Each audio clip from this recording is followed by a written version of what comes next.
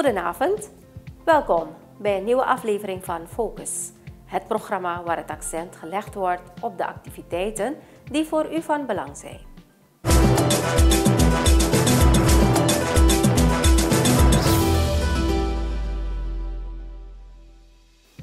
Vandaag in Focus.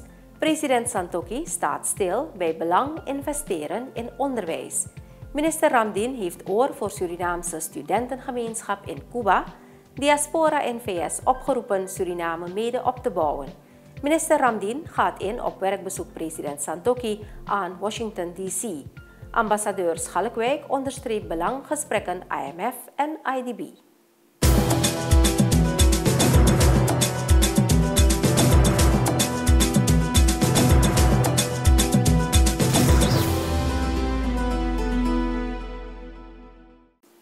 Ondanks de vele crises wereldwijd wordt het nodig geacht te investeren in goed onderwijs. Het belang van onderwijs is aangekaart tijdens de Summit of Transforming Education.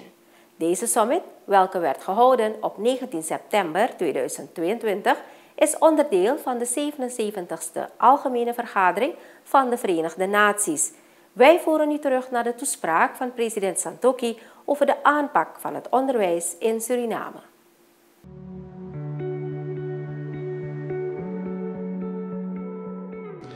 In this development-oriented education, explicit attention is paid to multilingualism, equality, cultural diversity, and the physical and mental health of the child. An important aspect of transforming education is the renewal of curricula, new learning methods, and materials, including textbooks.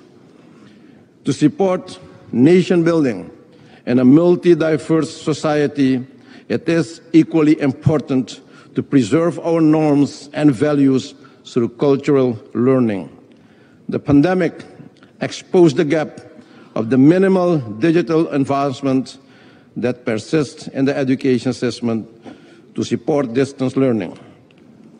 Attention should therefore be paid to availability and accessibility to digital infrastructure. Learning materials for distance learning were developed during the COVID-19 pandemic through content production of video lessons that were aired on television and discussed during radio programs. Supporting materials for the different subjects were also developed to stimulate learning through play. Telecom companies made free data available for students with the support of bilateral partners and international organizations, equipment was provided.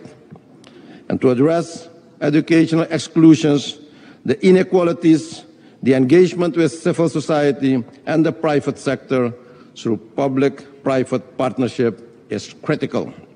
In this regard, youth-led organizations provided assistance also in some remote indigenous villages to support primary education. Noteworthy is that Suriname has offered 10 hectares of land to the youth of the Caribbean region to build, to build an innovative campus for students to study modern technology, climate change, food security, etc., in close cooperation with the international science community.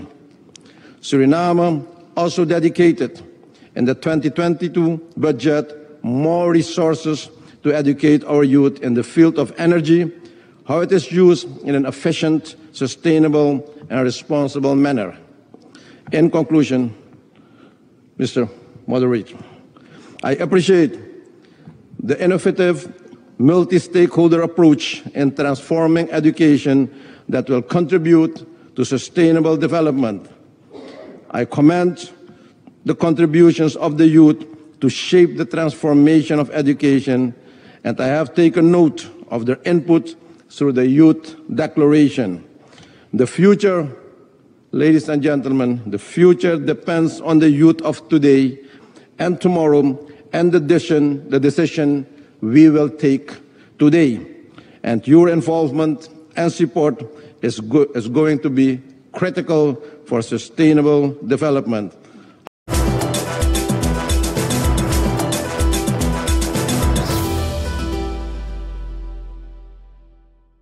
Minister Albert Ramdien van Buitenlandse Zaken, International Business en Internationale Samenwerking heeft tijdens zijn werkbezoek aan Cuba ook een onderhoud gehad met de Surinaamse studentengemeenschap in Cuba op 8 september 2022. Wendy Paulus Aminta, ambassadeur van Suriname in Cuba, was hierbij eveneens aanwezig.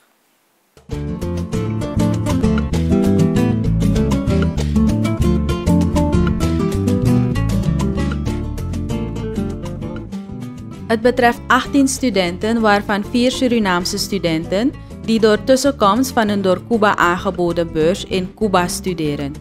De overige 14 studenten zijn studenten die door tussenkomst van het Surinaamse ministerie van Volksgezondheid eveneens daar studeren. Tijdens het onderhoud hebben de studenten medegedeeld dat de aanschaf van voedingsmiddelen een uitdaging is. Minister Ramdien gaf aan de mogelijkheid met Fly Always te zullen bespreken voor het versturen van voedselpakketten tegen een redelijke prijs. De distributie van de pakketten zal gecoördineerd worden door de Surinaamse ambassade te Cuba. De Beursalen hebben hun bezorgdheid geuit over het uitblijven van de onderhoudsgelden, welke per student 1500 per jaar bedragen. Momenteel is er een achterstand van drie jaren. De bewindsman gaf aan dat deze kwestie zo snel als mogelijk onder de aandacht van de minister van Onderwijs, Wetenschap en Cultuur zou worden gebracht, zodat de studenten op kort termijn tenminste onderhoudsgelden voor een jaar kunnen ontvangen.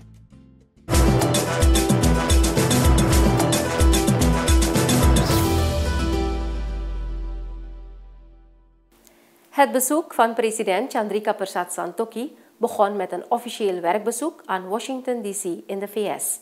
Naast de formele gesprekken met de regering van de Verenigde Staten is er ook gesproken met de internationale financiële instellingen. Minister Albert Ramdien van Buitenlandse Zaken, International Business en Internationale Samenwerking geeft een uiteenzetting van dit werkbezoek. De gesprekken op het stuk van de bilaterale samenwerking zijn gevoerd met de minister van Buitenlandse Zaken van de Verenigde Staten, Anthony Blinken.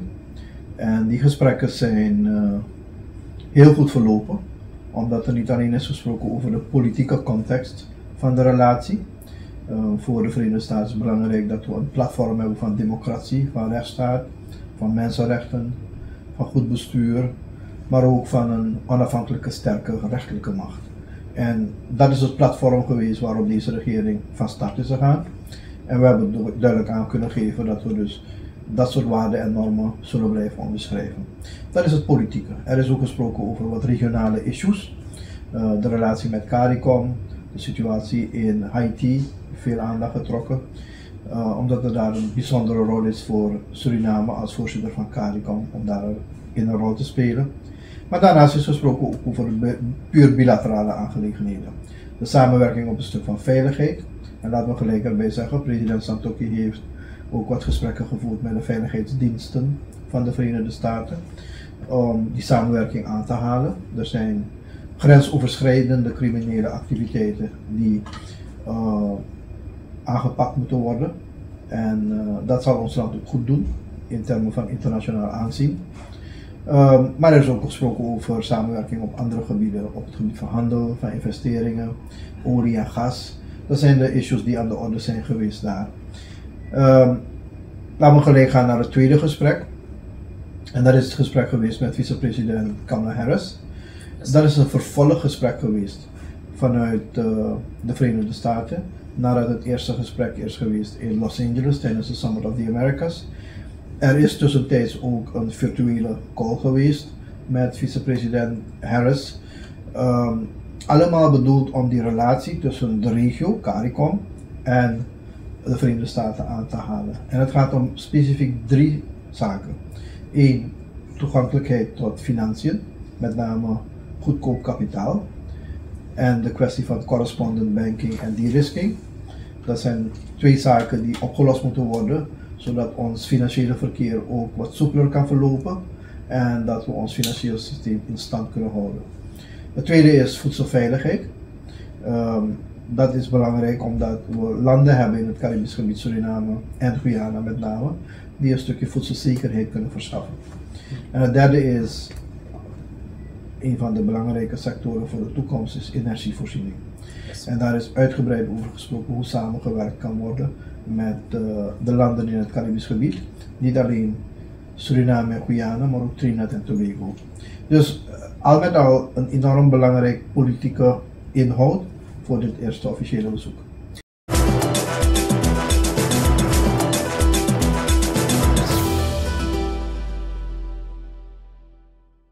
De Surinaamse diaspora in de Verenigde Staten van Amerika is door president Chandrika Persat Santokhi opgeroepen haar land van herkomst mede te helpen opbouwen. Het staatshoofd heeft de Surinamers over zee op maandag 19 september 2022 toegesproken tijdens zijn bezoek aan New York, waar hij de 77ste Algemene Vergadering van de Verenigde Naties zal bijwonen. De regeringsleider deed een oproep tot samenwerken aan de ontwikkeling van Suriname.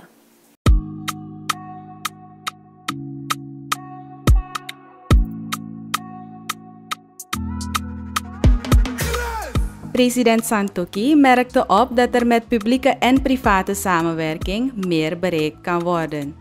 In dit kader heeft de regering het voor diaspora-investeerders mogelijk gemaakt om makkelijker in Suriname te investeren via beurzen. Het staatshoofd erkent dat veel Surinamers in de VS regelmatig personen in Suriname steunen en dat zij bereid zijn meer te doen indien het land zich structureel beter organiseert. Hij stelde daarom ook voor om een werkgroep van diaspora in New York op te richten die via de permanente vertegenwoordiging van Suriname bij de VN kan samenwerken met het Diaspora Instituut in Suriname. Het Citizenship by Investment Program is momenteel in voorbereiding. President Santoki sprak ook over zijn recent bezoek aan het Afro-Caribbean Trade and Investment Forum in Barbados. Investeringen vooral in onze landbouw, zijn noodzakelijk. Regeringen moeten ernaar streven om duurzame economische integratie en samenwerking te bevorderen ten behoeve van de volkeren van beide regio's. We moeten voedselveiligheid garanderen en Suriname kan dit voor veel landen omdat we over land daarvoor beschikken. We hebben de investering, de kennis en kunde en de tools van onze diaspora-familie nodig, gaf het staatshoofd aan.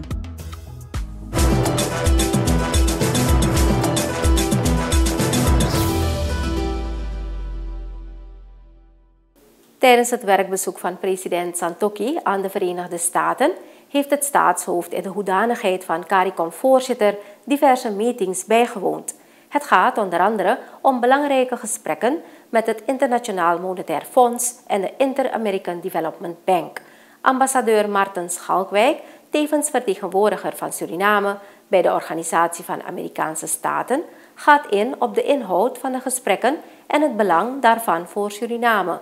Wij voeren u terug naar dit moment.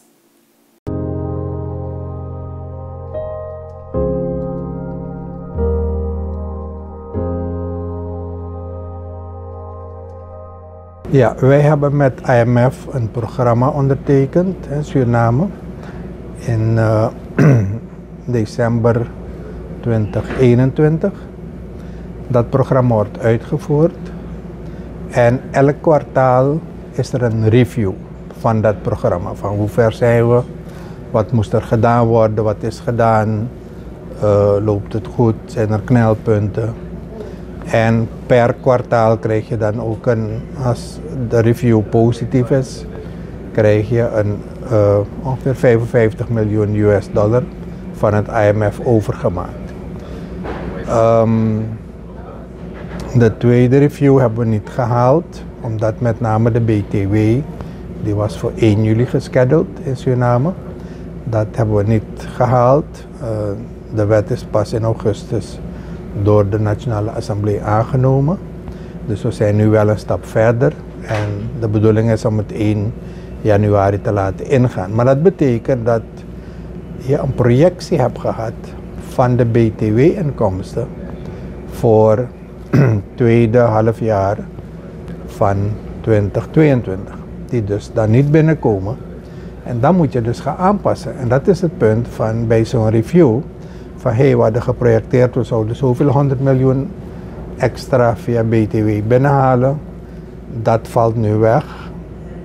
Hoe zorgt Suriname ervoor dat ze wel voldoende middelen hebben? Want anders heb je een begroting, je overheidsbegroting, dat je meer gaat uitgeven en je een begrotingstekort krijgt. Dus daar moet je dan bijstellen. En dat moet je proberen op tijd te doen. En daar kijkt ook IMF naar. Um, want die zegt dan van hey, als je dat niet doet, dan komt er misschien druk op de koers of dit uh, kan dan niet gedaan worden of je moet gaan bezuinigen. Maar je kijkt met elkaar naar de oplossingen. En dat is het traject waar men mee bezig is.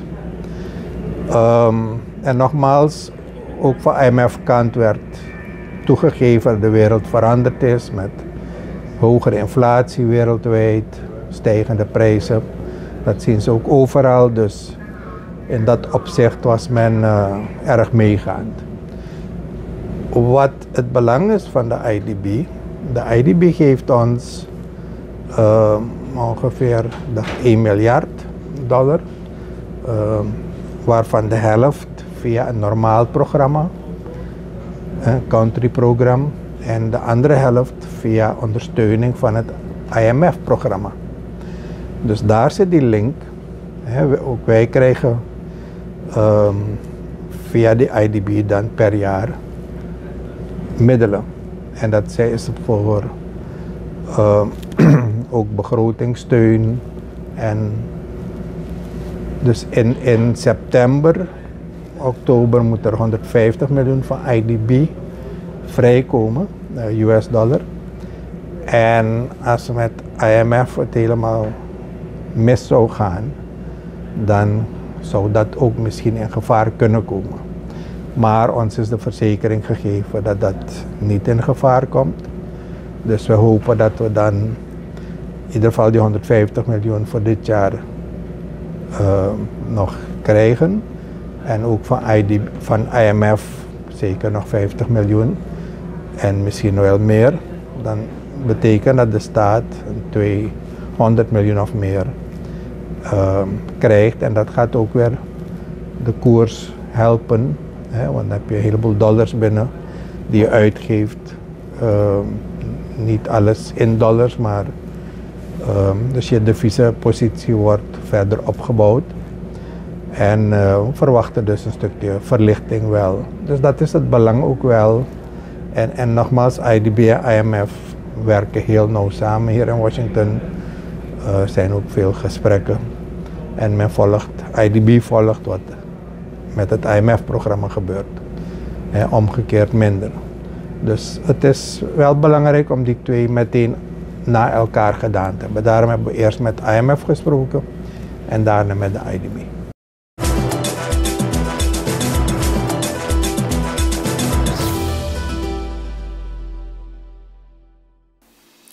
Kijkers, dit was Focus. Bedankt voor uw aandacht. Goedenavond.